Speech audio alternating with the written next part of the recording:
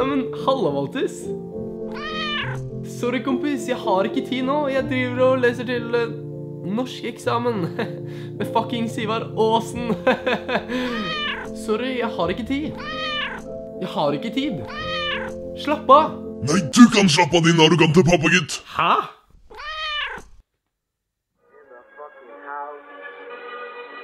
Dere er faen meg ikke klare.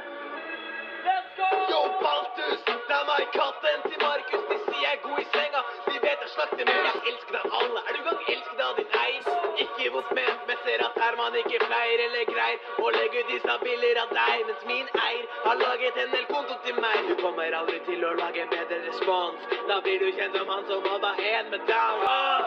Jeg gjør deg til mitt sexobjekt og bruker deg som er vilt i dine bein er brekt. Hvis dette blir for dødt, så kan du klikke vekk.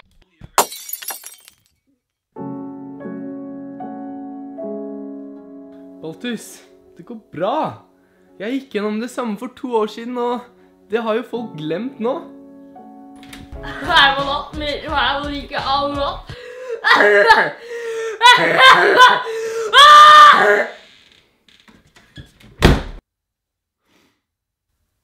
Baltus, jeg kan hjelpe deg!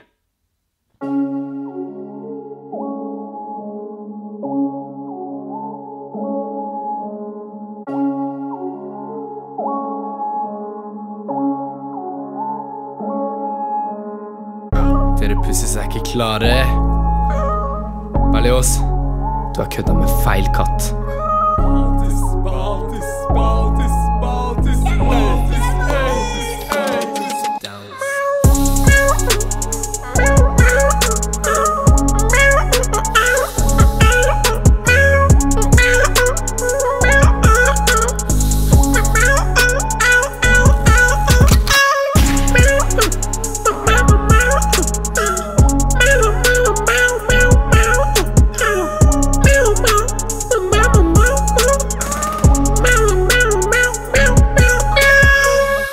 Berlioz, din skitne lille døs. Du burde være nervøs, for denne biten gjør deg arveløs. Foreldra dine, de skulle brukt kondom. Og Insta-kontoen din er bare kids som bryr seg om sexobjekt. Er det et nytt prosjekt? Jeg trenger ikke værår for at du skal bli wrecked. Hater mine værår, er dette alt jeg får? Vet Murdoch at du tok og sendte nudes til meg i går?